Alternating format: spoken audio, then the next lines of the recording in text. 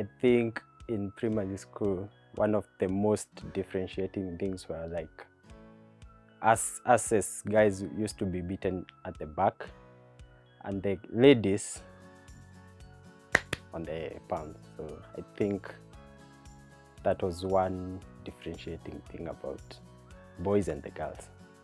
Well, I can't really remember.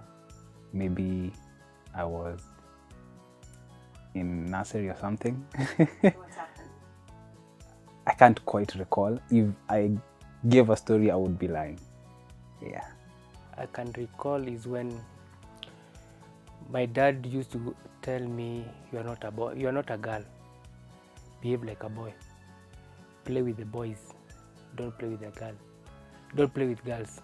That's when I realized uh, there is a difference between me and my sister and my neighbors who are uh, girls.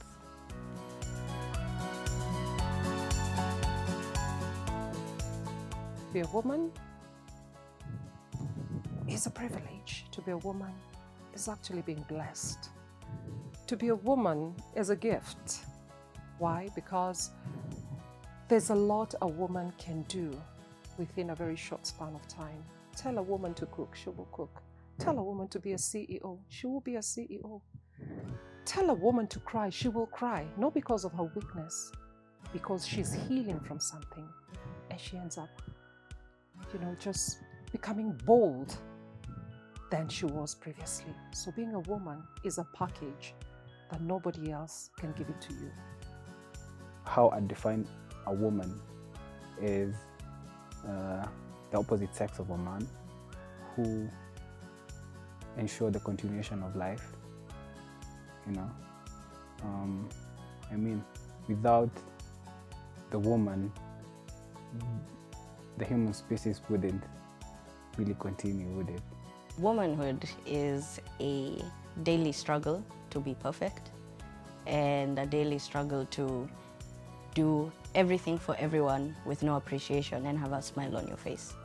Womanhood is, from what I've read and uh, what my, my big brothers or my uncles and fathers said, is a woman is someone that nurtures, okay? It's more like an incubator. So you give her, you give her, you give her a man, she gives you a family.